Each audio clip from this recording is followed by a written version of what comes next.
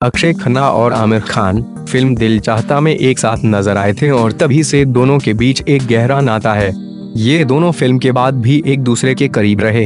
हाल ही में, आमिर खान ने अक्षय खन्ना को अपनी फ़िल्म सीक्रेट सुपरस्टार की स्पेशल स्क्रीनिंग के लिए आमंत्रित किया था और चैटिंग के दौरान आमिर ने अक्षय को बताया था, वे इत्तेफाक के ट्रेलर देख बहुत जिज्ञासु हो गए हैं और अब वे पूरी फ़िल्म देखने के लिए उत्सुक है, सूत्र ने जानकारी दी।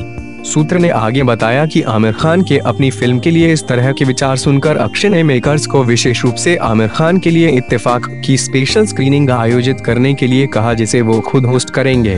और अब उसी का पालन करते हुए हमने सुना है कि अक्षय आमिर के लिए इत्तेफाक की स्पेशल स्क्रीनिंग आयोजित करेंगे।